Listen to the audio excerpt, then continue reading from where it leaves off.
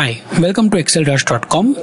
You're watching a three video series of how to build a real time portfolio of your stock investments in Google Sheets. This is part three.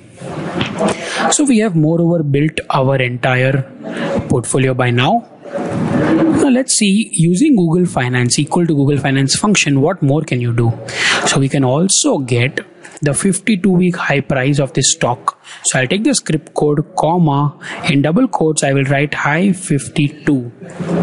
If I close the brackets and press enter I'm going to get the high price of this 52 week high price of this stock. If I drag it down similarly for the others same way equal to Google Finance take the script code comma in double quotes low 52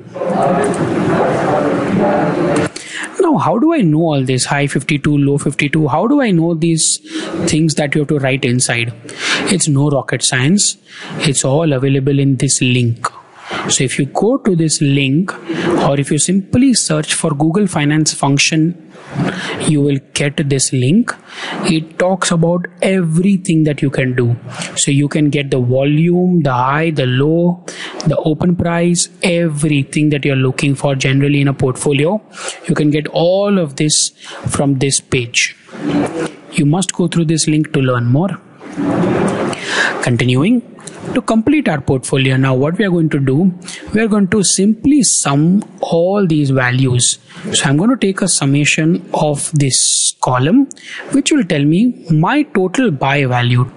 To complete our portfolio we are going to take a summation of this entire column.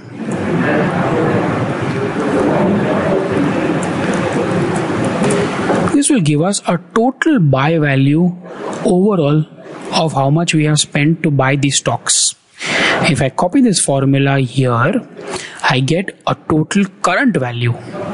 How much do we have right now? If I copy the formula here, I get total profit loss. If we do the profit divide by the buy value, we get a percentage.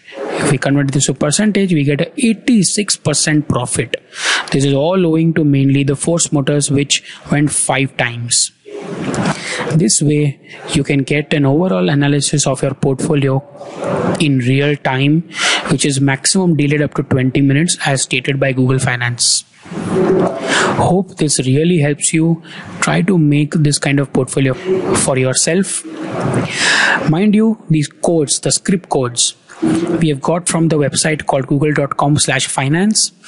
You can have your bse codes nse codes your mutual fund codes all of that. If i type fb and if i press enter i'm going to get the price of facebook incorporation. So it is not only indian stocks. You can even get your foreign investments if you have any in this google sheet.